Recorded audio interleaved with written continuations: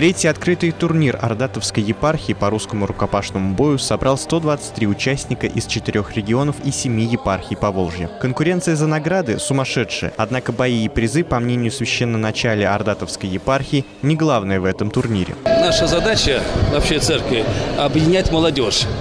Ну, а как объединять? Конечно, через разные направления, в том числе и через спорт. И вот мы как бы всегда стараемся покровительствовать спорту. И тем более это новое для них, потому что под эгидой церкви. А общаясь с ними, мы невзначай и духовно их воспитываем. За годы проведения внутриреспубликанский турнир вырос до межепархиального, и уже сейчас мало кто возьмется назвать его местным. И участников больше, и их уровень подготовки уже всероссийский. Было очень мало команд, участников около 100 человек, даже поменьше. Второй турнир был, это Нижегородская область, приезжали боевые самбисты из села Сеченова.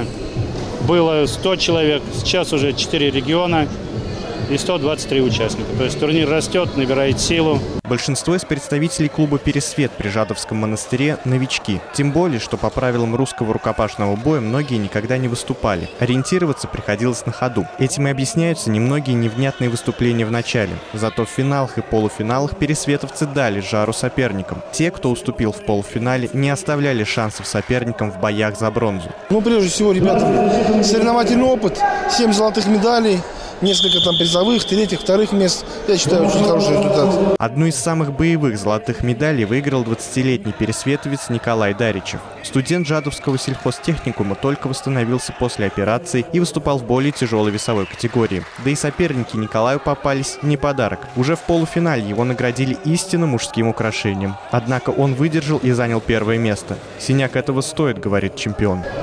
Не только золотой медаль, а для самого себя, что я все еще в строе. Все, что я могу заниматься этим спортом и продолжать двигаться, биться дальше, брать другие выше стоящие титулы. Вторая половина весны для ребят из Пересвета будет боевой. Клуб намерен принять участие в нескольких серьезных соревнованиях, самый главный из которых – Всероссийский мастерский турнир Кубок Жадовского монастыря. Он пройдет в Ульяновске 11 мая.